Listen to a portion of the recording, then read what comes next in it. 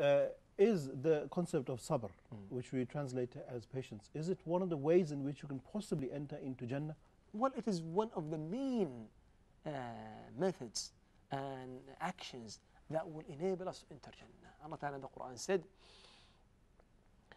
إني جزيتهم اليوم بما صبروا أنهم هم الفائزون.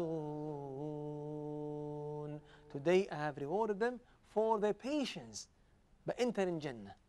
Okay, because of their patience Okay. they are the successful ones. Subhanallah. Subhanallah. So one of them, one of the main actions and uh, deeds that will enable us to enter Jannah is having patience